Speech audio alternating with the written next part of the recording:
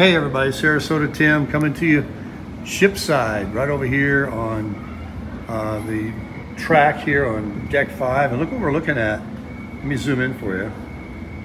A couple of racy boats that take people for racy speed rides, I guess. There's about, I don't know, 10 or 12 people on each one of those red boats. And this green thing way down there is easing out. I don't know what that is. But check out the water. I mean, if you, if you could see what I'm looking at through my polarized sunglasses, it's pretty amazing. There's a cruise ship down there, of course.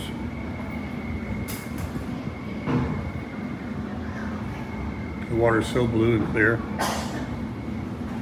We just had a snack again and thought we'd put one up for you while we get this great uh, free internet with T-Mobile. Uh, text, talk, data, everything. Uh, we've been keeping in touch with the family and friends. Johnny Vegas, he's doing good. Did him a nice long walk this morning. He's ready to hit the golf course pretty soon. Go around do some chipping and putting. Getting out there, getting his life together. And we were just sitting here talking to ourselves about how, you know, this is going by so fast and this is an experience. So here's another view of Cozumel. I'll zoom in for you bring you down the shoreline here. There's that cruise ship down there. That might be the uh, a celebrity cruise line, or I'm just guessing. I wouldn't even know. As we pan down, there's one resort after the other.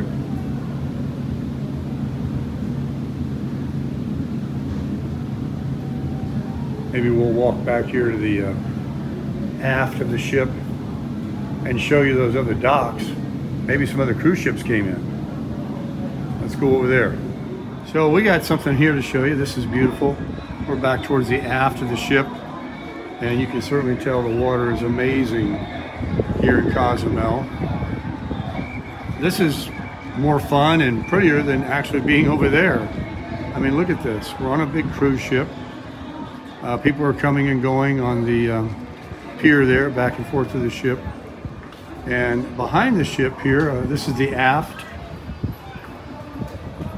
Uh, all these new piers they put in since I was I was here.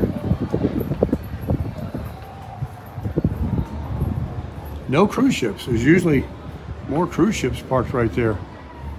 Very strange. Looks like an SOS light or something they got there.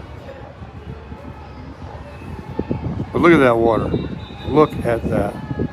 That is amazing. Margaritaville, Tequila A Go Go, and that's, uh, uh, what is it called? Something frogs? What is it? Senor Frog.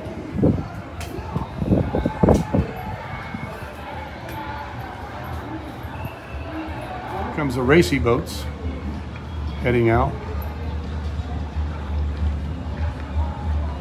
You can hear them cranking it up down there Senor Frogs or Tequila A Go Go.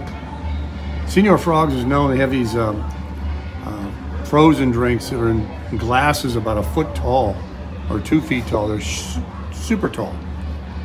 I remember that. But uh, there you go, folks. Cozumel, Mexico, 2024. Oh, listen to them. it's going to be a motley crew tonight.